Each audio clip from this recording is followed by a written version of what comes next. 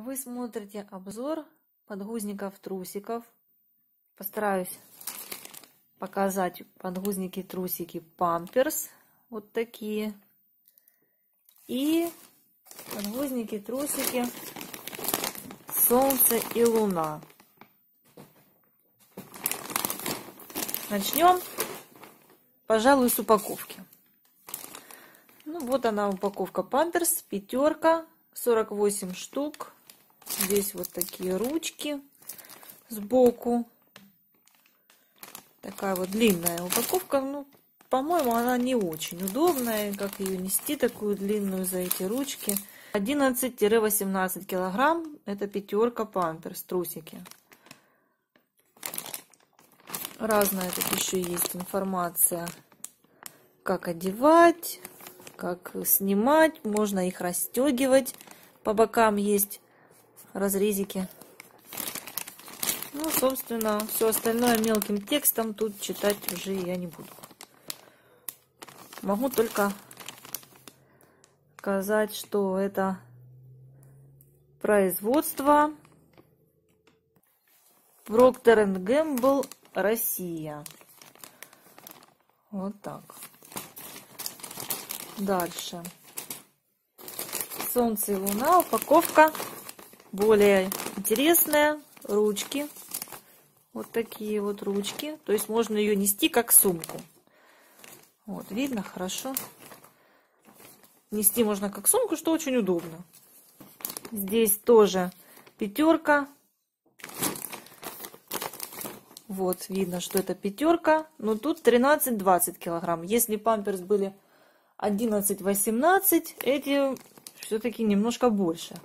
13-20 килограмм. Солнце и луна делятся на мальчиков и девочек. В то время как памперсы, они для всех. Ну, много разной информации про воздушные ячейки, точечные прикосновения с кожей, какие-то воздушные каналы, мгновенное впитывание, резиночки и так далее. Такая упаковка. А, что еще здесь интересно? Количество 40 штук в этой упаковке. В памперсах там количество 48 штук. Производитель, по-моему, здесь тоже был Россия. Сейчас посмотрю. Да, написано производитель Россия, но с приметкой создано по японской технологии. Вот оно. Японская технология. Ну, не знаю, что там за технология. Вот такие вот у нас подгузнички, трусики. Вот они, наши подгузники. Это Солнце и Луна. Вот так вот он выглядит. Вот такой вот подгузничек с милым мишкой. А это памперс. Вот такой памперс. Тоже с картинкой. Тут нарисован котик. Ну, солнце и поскромнее, конечно, картинка. Но я думаю, это особой роли не играет. Так, значит, солнце и луна.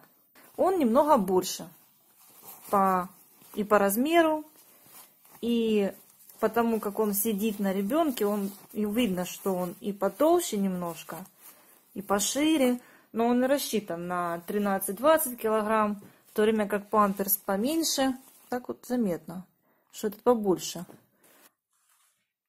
С 11 до 18 килограмм. А этот с 13 до 20.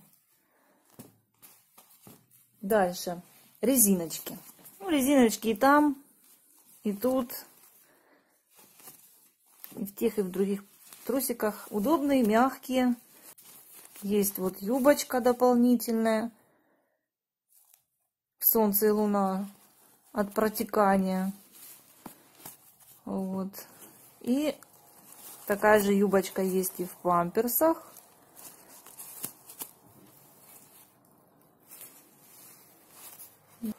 Конечно же, сзади липучки для удобной утилизации. Скажу про впитываемость впитываемость у них хорошая. И у одной, и у второй фирмы. Тут каких-то минусов я не нашла.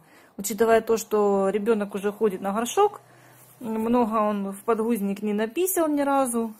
Так, по чуть-чуть. Только на прогулку или на ночь мы его одеваем. Мне понравилось Солнце и Луна. Здесь есть индикатор. Индикатор наполняемости, который, когда начинает мокреть, становится зеленым. Ну, в памперсах такого индикатора нет. Может, для кого-то это будет полезным.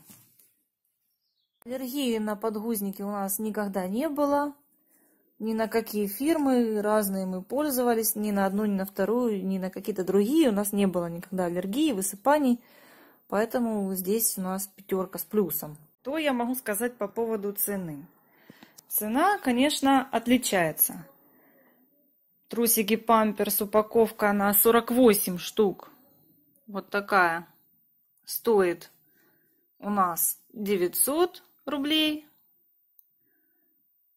А упаковка Солнце и Луна на 40 штук стоит 600 рублей. Я не вижу смысла платить больше, поэтому я их в основном и покупаю. Один раз купили памперс.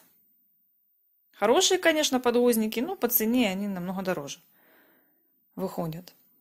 Единственный минус Солнца и Луна, это, конечно, их толщина. Все-таки толстоватые они. Показать их внутри. Вот я их вывернула. Передняя сторона памперса и Солнце и Луна. Тут прямо видно, что у Солнца и Луна больше вот эта вот впитываемая часть впереди, чем у памперса. Соответственно, потому что Солнце и Луна делятся на мальчиков и девочек. Мальчиков больше впереди. У девочек меньше впереди, а в памперсах одинаково.